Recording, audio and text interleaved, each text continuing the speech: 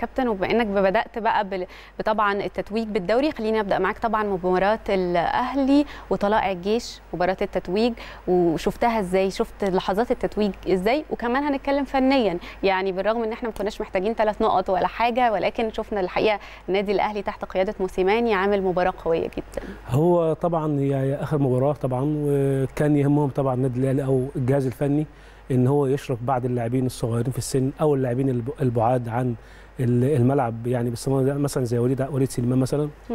واللاعبين الصغيرين فده برضو كان فرصة لكن آه، الهدف برضو إن أنا أفوز الهدف إن أنا أفوز مع كل الاحترام طبعا والعربي بدر كانوا في المباراة. بالظبط كده. آه دولت برضو يعني إن شاء الله بإذن الله مست... اللي جايين إن شاء الله بإذن الله مستقبلهم جاي إن شاء الله العربي وفي فخري وفي برضو شكري وفي شادي في مجموعة مجموعة. جميلة جدا من ناشئين النادي الأهلي. وده برضو بيدل على إن قطاع الناشئين شغال بشكل كويس قوي. آه في احترافية في الشغل. يمكن حتى أعتقد إن في مدير فني أجنبي الكابتن خالد بيبو آه تواصل معاه وبقى موجود دلوقتي إن هو برضو يشرف على القطاع. فده طبعا يعتبر زي نجاح طبعا.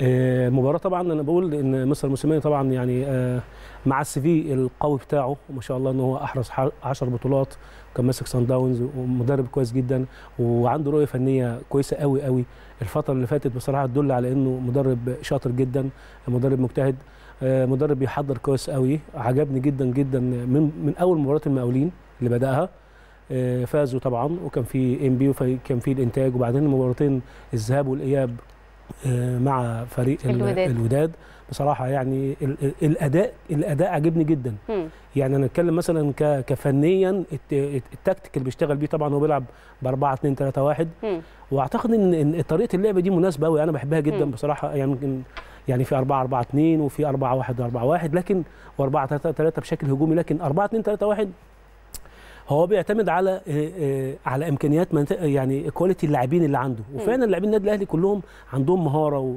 وفي آه، لا مجموعة كبيرة جدا برضه ال- ال- الموهبة موجودة يعني واحد زي محمد مجدي قفشة مثلا. ما هو 4 2 3 1 هو هيكون موجود تحت المهاجم صح. playmaker. فبصراحة أنا لما كان محمد مجدي قفشة مع مستر فايلر. ما كانش ظاهر بالمستوى الفني العالي ده.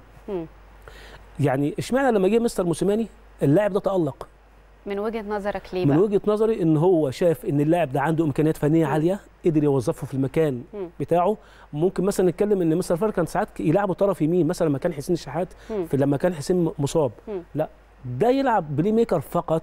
ما يطلعش المكان ده لو أنت هت- هتحاول تحطه في مكان تاني.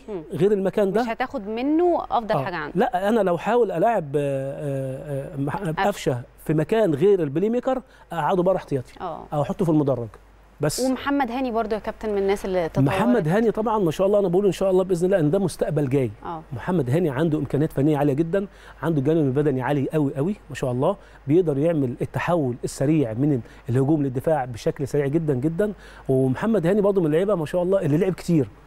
فلعيب الكورة لما يلعب في النادي الأهلي يلعب مباريات كتير باستمرار لعيبه المباريات بتجيب اللاعب. بتزيده خبرة بتزيده إن إحنا قلنا لها في مجال شغلنا إيه تقل في الملعب خلاص مم. حفظ المكان مم. بيقدر آه، يعني يعني يتأقلم مع أي مباراة حتى لو مباراة دولية برضه بيقدر يتأقلم معاها مم. وإن شاء الله بإذن الله يعني يعني أنا بتفائل إن محمد بإذن الله يكون back right مصر الفترة اللي جاية إن شاء الله بإذن الله إن شاء الله طيب ديانج كمان من اللعيبة اللي شفناها والله مع- ديانج ده قصة كبيرة جدا آه. جدا أنا مش عاوز يعني بصراحة يعني يعني بقول للنادي الأهلي شكرا آه بقول لكابتن محمود الخطيب مجلس إدارة النادي الأهلي بصراحة أنا بشكركم على الهدية اللي أنتوا جبتوها لجمهور النادي الأهلي وفرقة النادي الأهلي. مم.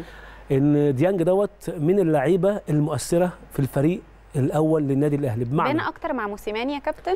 آه والله قبل موسيماني كان كويس جدا برضه. بس الفترة الأخيرة. الفترة الفترة اللي لعب بيها الفترة اللي فاتت دي برضه كويس قوي. مم.